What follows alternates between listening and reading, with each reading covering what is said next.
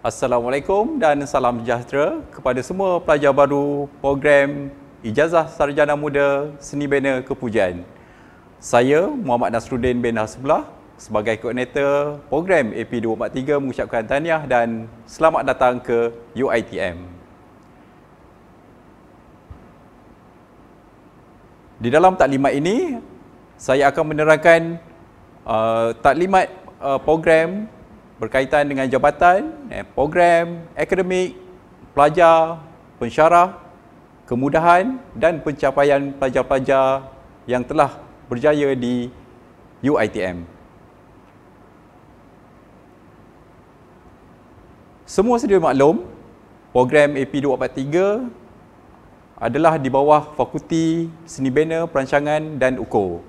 So di mana program ini ditawarkan di kampus Puncak Alam, kampus Sri Iskandar Perak dan kampus Kota Samarahan Sarawak.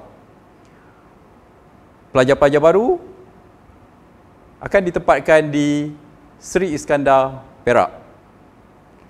Ini adalah misi dan visi jabatan. Pelajar-pelajar boleh baca dengan detail dan memahami apakah visi, apakah visi dalam jawatan dan program AP243. Manakala ini adalah objektif di mana di akhir pengajian nanti apabila saudara-saudari uh, grad akan mencapai objektif-objektif yang telah dirangka dan perlu dicapai oleh semua pelajar apabila tamat pengajian di UiTM.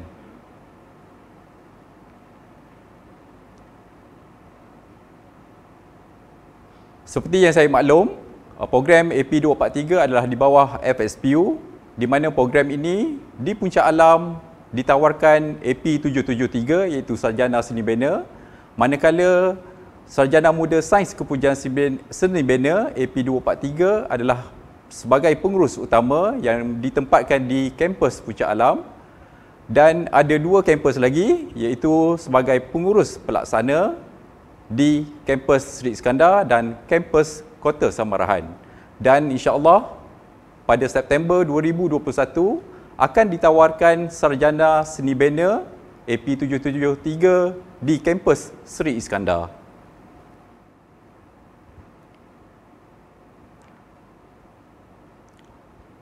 Dari segi sejarah penubuhan program AP243 di kampus Sri Iskandar Perak bermula pada tahun 1986 di mana program ini dikenali sebagai program seni bina di mana ditempatkan di kampus Sri Manjung. Di kampus Sri Manjung, program ini hanya menawarkan pada tahun pertama sahaja. Tahun kedua dan berikutnya, pelajar-pelajar akan ke kampus Shah Alam.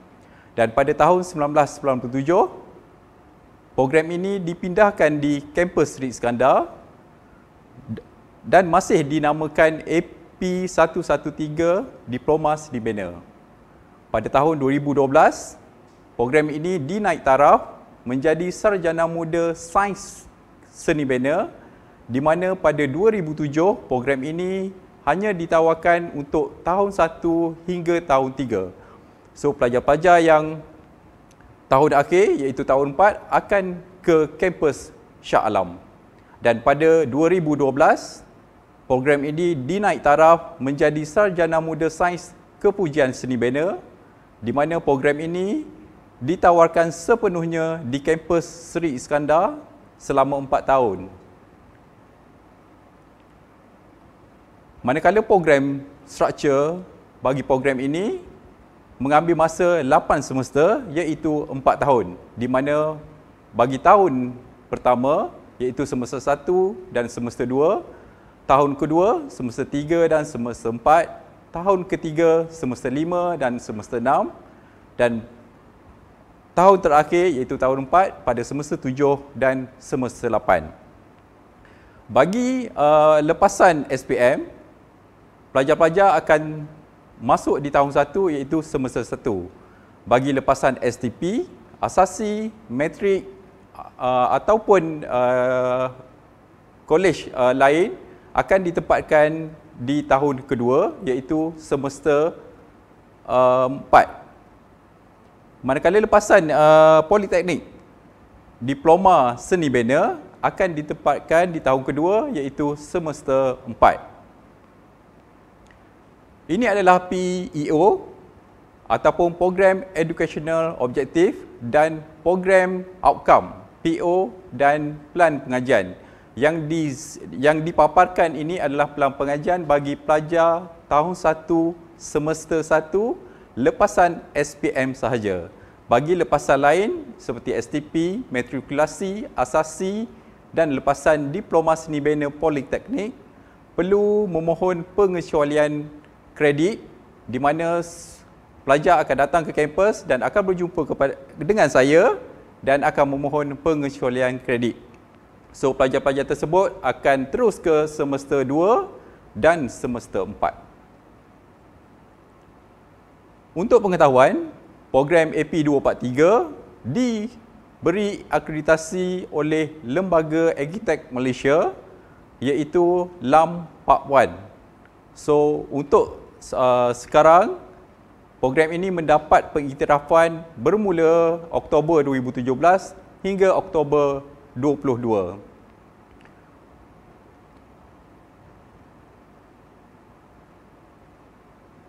Selain itu, Program ini mendapat akreditasi daripada RIBA iaitu Royal Institute of British Architects bermula Januari 2020 sehingga Disember 2025.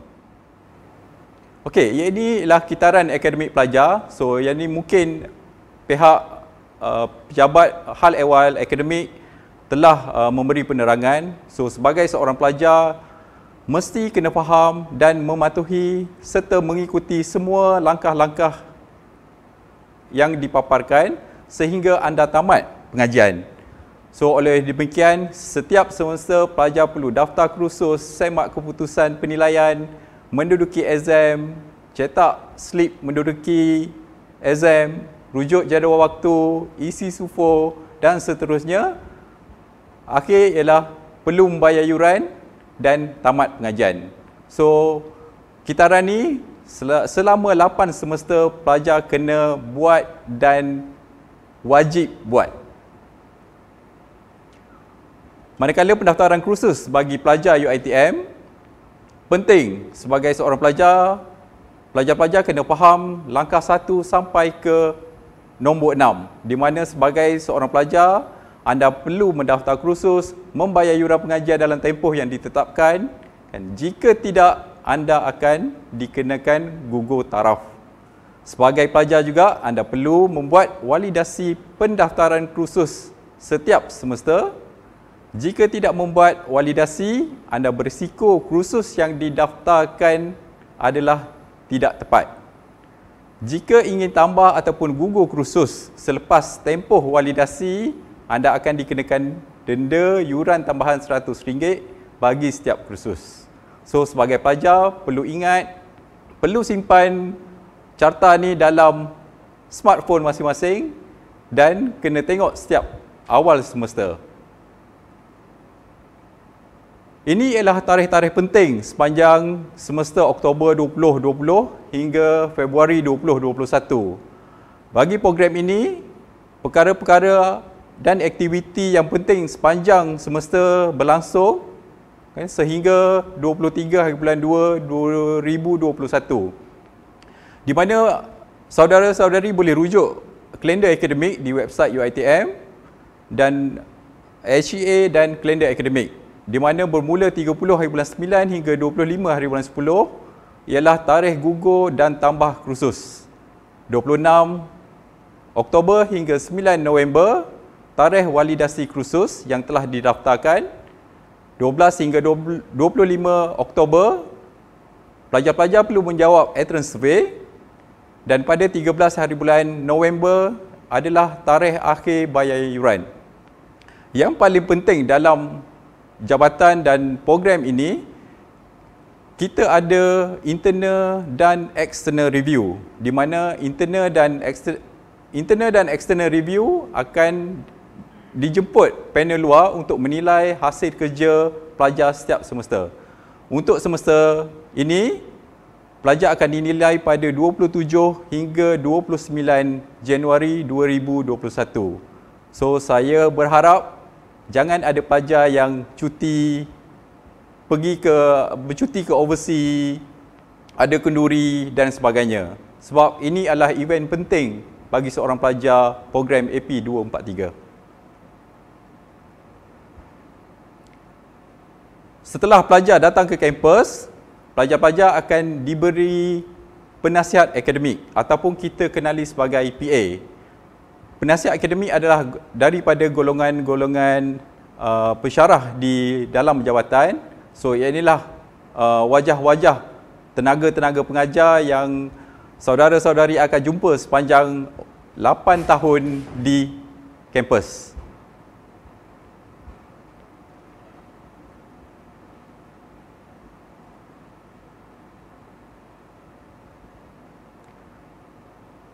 Ini ialah enrollment pelajar di mana program AP243 mempunyai 490 bilangan keseluruhan untuk semester ini.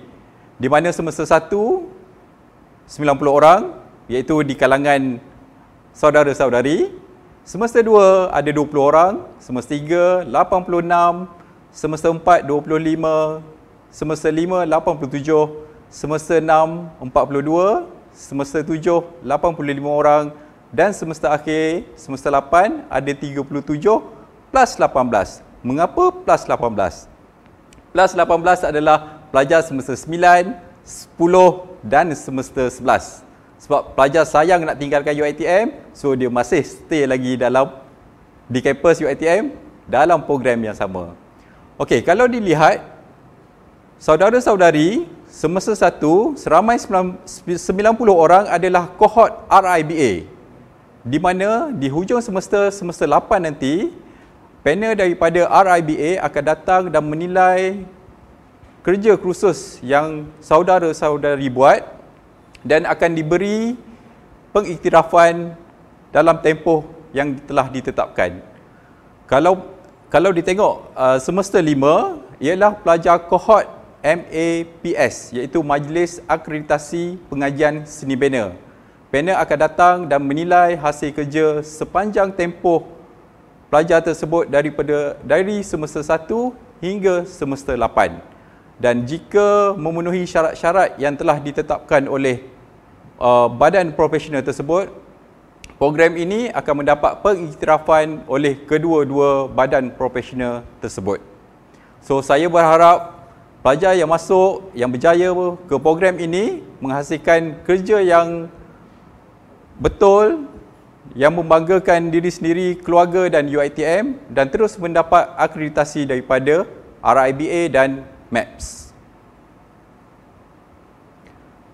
Dari segi pengambilan pula, pelajar semasa, satu adalah lepasan daripada SPM iaitu saudara dan saudari.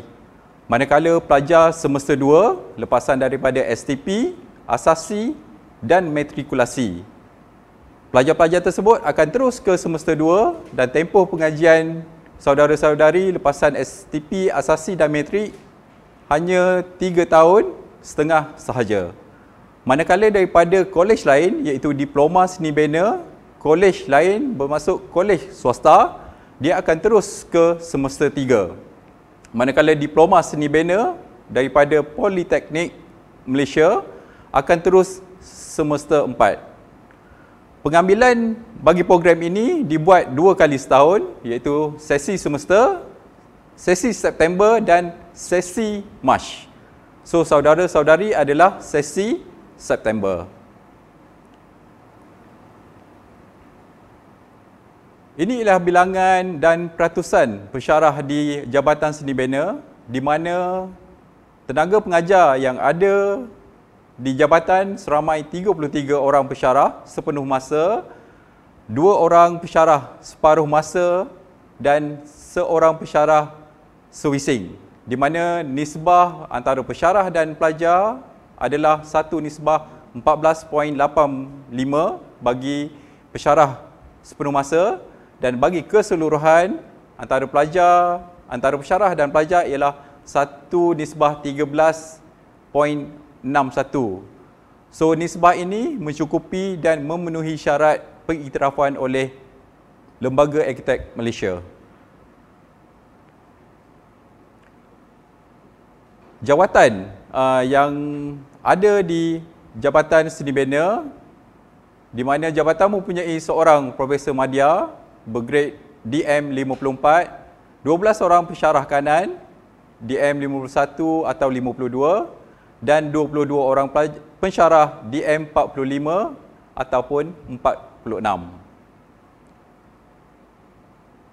Okay, selain daripada mengajar sebagai seorang pensyarah, pensyarah juga perlu berdaftar dengan badan profesional iaitu Lembaga Arkitek Malaysia di mana di jabatan ini kita mempunyai empat orang arkitek profesional yang bergelar AR. So kalau saudara, saudari perasan di depan nama seseorang tu jika ada AR ia, ia ialah arkitek profesional. Manakala 30 orang bersyarah berdaftar sebagai arkitek graduan dan digelar lembaga Part 2. Dari segi akademik, pensyarah-pensyarah di jabatan mempunyai tiga berkelayakan doktor falsafah ataupun digelar sebagai doktor. Dan 32 orang mempunyai kelayakan sarjana di mana enam orang sedang dalam pengajian PhD. Dan insya-Allah enam orang ni akan balik kepada balik ke jabatan secara berperingkat. Ini ialah keadaan ataupun bangunan saudara-saudari akan belajar sepanjang 4 tahun di mana pelajar-pelajar diberi kemudahan studio di FSPU Annex 1. So kalau ditengok pada gambar kita ada koyat di tengah dan di situlah program-program ataupun aktiviti aktiviti pelajar akan berlangsung. Eh dinamakan Akide, Akifest, Akisport dan sebagainya. Ini ialah kemudahan yang ada di bangunan FSPU Annex 1 eh, di mana kita mempunyai 22 studio untuk menempatkan pelajar daripada semester 1 hingga semester 8. Bilik krik kita ada 4 dan bilik kuliah ada 6 dan lain-lain kemudahan yang ada di FSPU NX 1 ialah makmal 3D model. Kan kita ada krik wall kita ada krik room dan kita ada bilik sumber. So pelajar saudara-saudari yang masuk nanti akan diberi studio dan dalam studio itu akan diberi meja drafting, kerusi dan peralatan-peralatan yang bersesuaian di dalam studio.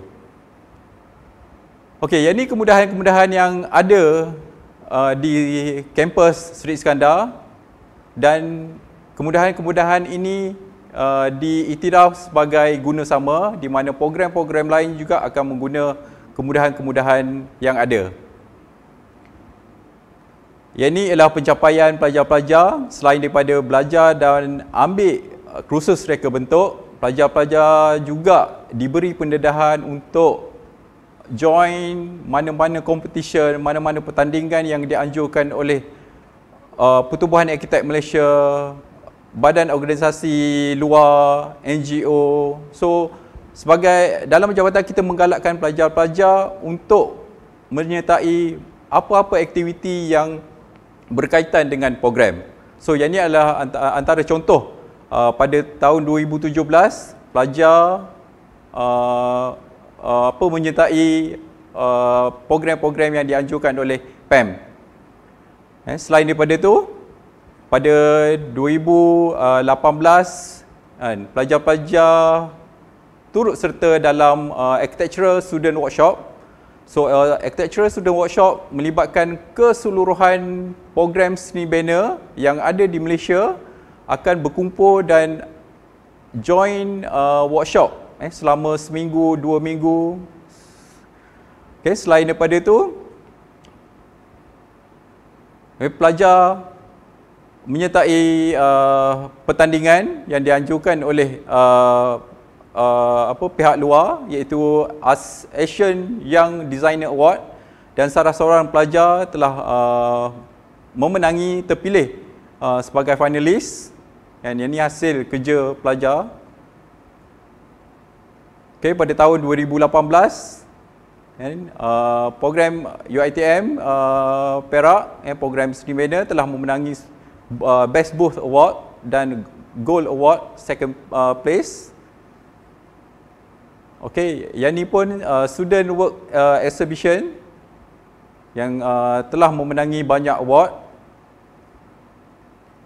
Yang ni yang terbaru. Walaupun dalam uh, pandemik COVID-19, eh, pelajar masih lagi boleh menyertai mana-mana pertandingan yang dianjurkan oleh uh, Pertubuhan Arkitek Malaysia dan alhamdulillah kita telah memenangi tiga anugerah yang uh, yang disertai oleh pelajar-pelajar.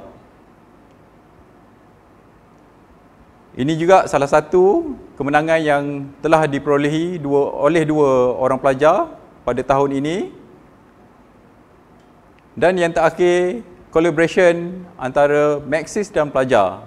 So seorang pelajar ni mempunyai sketches yang amat bagus, amat baik dan dia telah collaborate dengan Maxis eh, dan uh, telah di award uh, oleh Maxis pada tahun ini. Okey, sekian saja daripada saya. So saya sebagai wakil uh, program AP243 mengucapkan tahniah dan selamat datang ke UiTM Cawangan Perak Kampus Sri Iskandar.